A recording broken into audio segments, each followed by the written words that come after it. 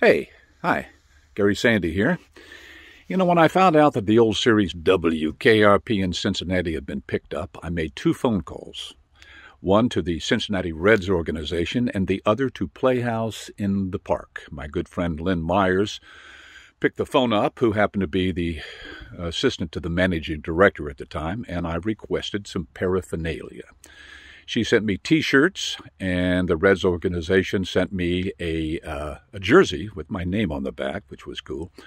And I was able to get these on the air, and I was proud of that. I always wanted to work at the Playhouse, great place to work, beautiful theater.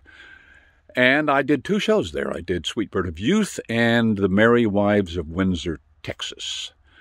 And now, in these trying times, not only should we support the arts, but the Playhouse is doing a fundraising campaign for a renovation. So what do you say? How about how about coming up with some money for the Playhouse? Okay? Sure would appreciate it. Thank you.